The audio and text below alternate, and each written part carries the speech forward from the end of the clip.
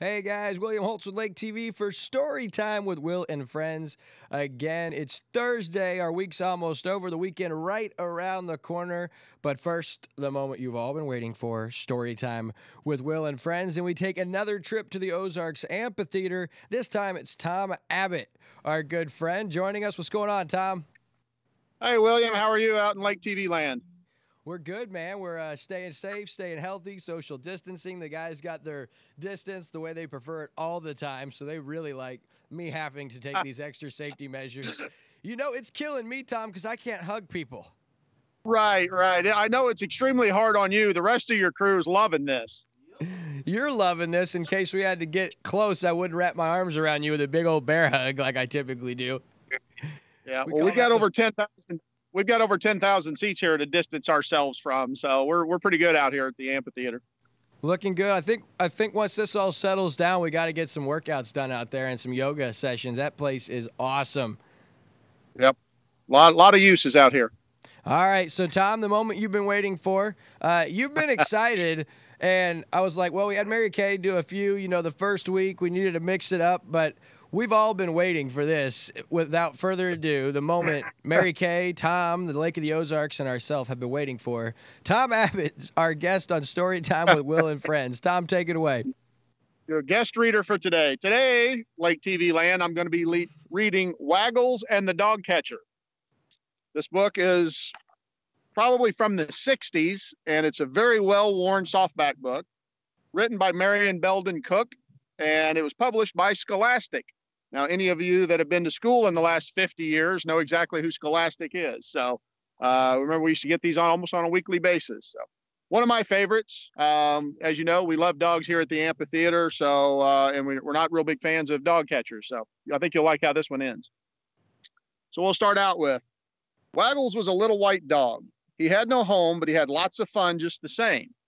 He went up and down the streets of the town, wagging his tail and looking for things to carry. He liked to carry things a bone, a glove, a shoe, a newspaper, or even a stick. It made him feel very important. One Saturday morning, Waggles was trotting along Main Street. He was carrying a bone. The sidewalks were crowded with people, and all of them were on their way to Sweezy and Swenson's department store. Everybody should have a Sweezy and Swenson's. Waggles ran ahead of them, and when the door was opened, he hurried in and he ran up one aisle and down another. Waggles was so excited by all of the noise and all of the people that he dropped his bone. He ran up and down the aisles looking for it. He ran up and down one aisle and stopped at a counter piled high with hats. Women were grabbing them, trying them on, and looking at themselves in mirrors. As Waggles stood there, a small blue hat fell on the floor. Waggles picked it up, and now he had something to carry again. The floor walkers saw Waggles. Stop, thief, he shouted. Stop, thief, again. Waggles ran down the aisle. The floor walker ran after him. Stop, thief, the floor walker kept shouting. Waggles reached the front door. The door walker, the floor walker was close behind him. Waggles dropped the hat and hurried, hurried out of Sweezy and Swenson's department store. Just as he reached the sidewalk, he heard the floor walker shout, Hi, dog catcher? On the sidewalk, Waggle saw a man with a net. Catch that little white dog, the floor walker yelled. Waggles did not wait. He ran down the street and into the alley. The dog catcher was right at his heels. Soon Waggles came to a coal bin. That tells you how old this book is. he could hide there. He jumped in and sank down into the slippery coal. It almost covered him. He stayed there for a few minutes, and when he came out, the dog catcher was waiting. Do you see a little white dog? He asked the boy. No, I don't, said the boy. I only see a little black dog. The dog catcher looked at Waggles, who was black all over from the coal. I'm looking for a little white dog, he said, but I will catch this black one instead. He made a dash at Waggles with his net. But he was not quick enough. Waggles ran out of the alley and around to Main Street again. Here in the crowd, he soon got away from the dog catcher. Go Waggles. Waggles came to the town hall. A man was putting whitewash on the brick walk. He was using a big brush. Waggle stopped to watch. Soon the man put down his brush and sat on a bench to rest. Waggles picked up the brush by the handle and stood wagging his tail. He was happy because he had something to carry again. He looked around. The dog catcher was coming. You see a little black dog? All black? He asked the man on the bench. No, I don't, said the man. I only see a little black dog with a white tail. The dog catcher looked at Waggles, who had been wagging his tail in the whitewash. I'm looking for a little black dog, he said, but instead I'll catch this black one with the white tail. Waggles dropped the brush and hurried away. The dog catcher ran after him. Waggles ran around to the back of the town hall. He jumped over the wall and into a garden. A boy was watering the flowers. You need a bath, the boy said. Stand still and I will give you one. He squirted Waggles all over. Just then, the dog catcher came over the wall. Did you see a little black dog with a white tail? I asked the boy. I did, said the boy, but I don't see him now. The little white, this little dog is white all over. The dog catcher got down to his knees and peered at Waggles. Then he got up and said, I'm looking for a little black dog with a white tail, but I'm going to catch this little all white one. Waggles did not wait to hear anything else. He ran out of the garden. He trotted past the town hall. Then he hurried up Main Street. Soon he came to a meat market. The door was open. He sniffed the wonderful smells. He went right in. Maybe he could find a bone to pick up. At the counter, the butcher was cutting chops, steaks, and chickens. He put them all in nice little baskets. This is Mr. Frisbee's, this is, there is Mrs. Frisbee's chicken, the butcher told the clerk, and he pointed to a small basket on the floor. Take it out to her right away. She is waiting in her car. Very similar to what we're doing today, folks.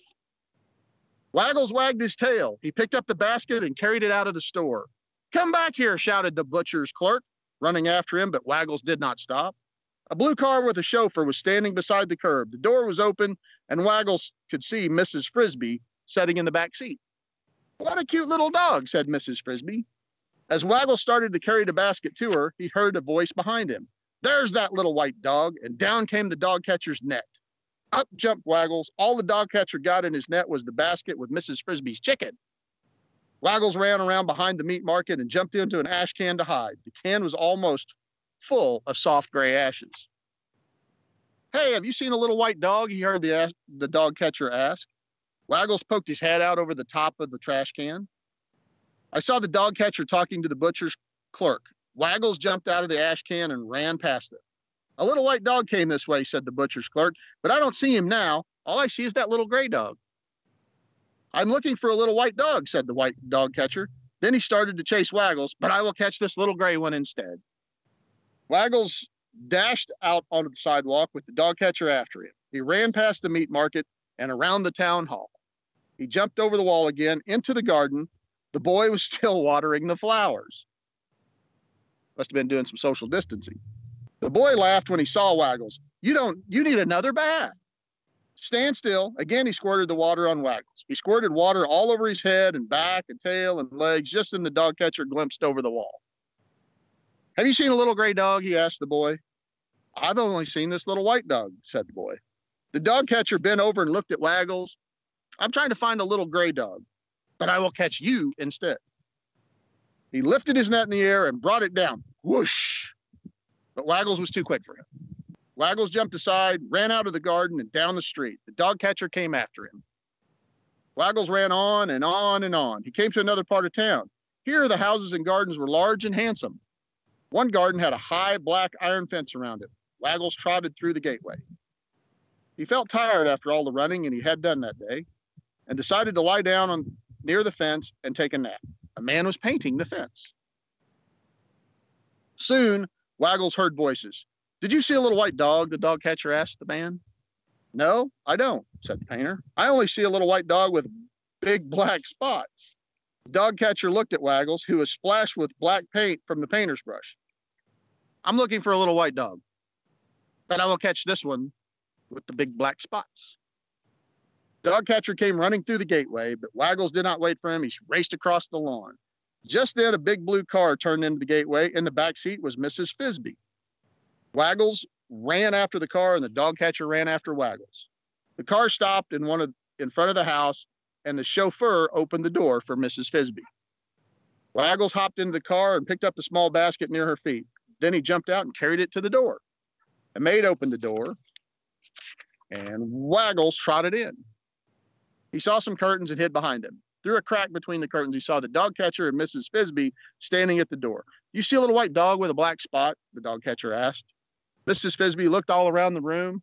No, I don't see any little dog at all. And that was true. Not even the tip of Waggle's tail showed from behind the curtains. I'm sure he came in here, said the dog catcher. I don't see him anywhere. Please go away, said Mrs. Frisbee. So the dog catcher went away, grumbling and waving his net. As soon as he was gone, Waggles came out from behind the curtains. He was wagging his tail and he was still holding the basket. What a helpful little dog you are, said Mrs. Frisbee. You may carry my chicken to the kitchen. Then she said to the maid, He smells of paint. Please clean him off. We will give this little dog a white little white dog a home. So Waggles came in, came to live with Mrs. Frisbee. He was very happy. He wagged his tail and carried things every day. Each morning he brought in the newspaper and carried it upstairs to Mrs. Frisbee. He also brought in her letters. Whenever she dropped her knitting bag or her glasses case, he picked it up and brought it to her. Almost every afternoon he went for a ride with Mrs. Frisbee and her chauffeur. He was dressed she was he was dressed in a red coat, and when people saw him, they did not know that it was the homeless little dog that used to run up and down the streets. Waggles always looked at the car window, out the car window, and whenever he saw the dog catcher, he barked. But the dog catcher never bothered to look at him. He was much too busy trying to find a little white dog, a little black dog, a little black dog with a white tail, another little white dog, another little gray dog, and another little white dog, a little white dog with big black spots. That's the end. So he lived happily ever after in Mrs. Frisbee's house. Oh, what a story. Tom, and you are an impressive reader. I didn't know I was expecting that uh, in that regard. That was awesome. Hey, do well, us man, a favor. Many... Can we get a little look around, like what view you've got right there? Can you grab the camera and just kind of show everybody what that place sure, looks like? Sure. Oh, uh, well, I'll look back over my shoulder here. We're ap- yeah, actually look at that. On one of the uh, spotlight towers, one of four spotlight platforms that we have at the top of the bowl. And we're looking back at the 5,000 square foot stage. One of the things down here, we are making some improvements, even though, you know, we're under a, you know, a little bit of stress in the country right now. We're making arrangements to be open for our first concert. So we've moved our concession stands back here in the plaza, doing some changes around. So a lot of things going on here at the amphitheater in the month of April and May to get ready for our first show one thing I know you guys are working regardless of what's going on, ready to, for an awesome season. Guys, thinking about you, appreciate all you do for us. Uh, we'll see you guys soon, my friend. I look forward to coming out for a show this season. Yep, same thing to you, William, and your crew at Lake TV. We love you guys. All right, man. Right back at you. Thank you so there, much. Everyone. We'll see you very soon, Tom. Appreciate it, brother. See ya.